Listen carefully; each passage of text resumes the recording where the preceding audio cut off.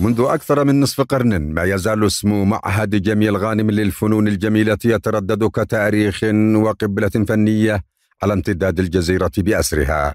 المعهد الذي تأسس في مطلع سبعينيات القرن الماضي نتاج امتزاج رؤية الموسيقار أحمد قاسم والسياسي التنوير عبد الرزاق باذيب لتتخلق نواة أول معهد موسيقي على امتداد المشرق العربي.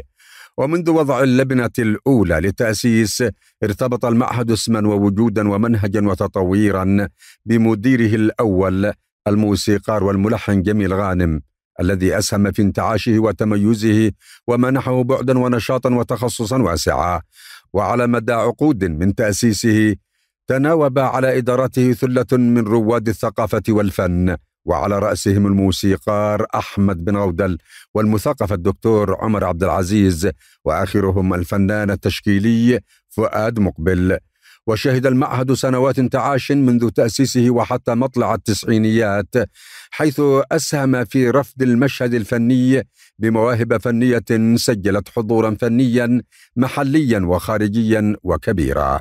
ومع اندلاع الحرب توقف المعهد بعد أن أسكتت أصوات الموسيقى.